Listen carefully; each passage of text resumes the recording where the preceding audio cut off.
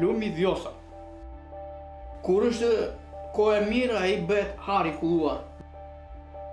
Edhe mali malet rrethorë që janë, i japin bukurit rahat i fshati. Kam punuar këtu në lumë me gjithë fëmijë. Kam rritur 5 fëmijë dhe dhe ata kam punuar bashkë me mua këtu. Në mban dhe në ushqen me gjithë Si bë mos natyrë që është një natyrë e pastër e vigjri.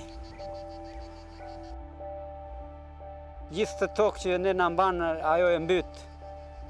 Kështu që neve dalim jashtë loje, edhe si kombi, jo si person. 维约萨河是欧洲仅存的几条还在原本河道流动的大型河流。 现在这种野生的河已经很少见了，自然的水道没有被水坝或人类行为干扰。在这里还看得到世界上其他河流曾经的样貌。Rivers, in many ways, are, are arteries of the landscape. So, much like arteries of the human body, they're really important to be kind of flowing, bringing blood to and for different organs. So, rivers do the exact same thing. They transport energy and nutrients from different parts of the landscape.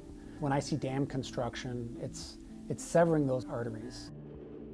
Over the last kind of couple decades, there's been increased recognition that, in fact, many of these dams are no longer serving their purpose.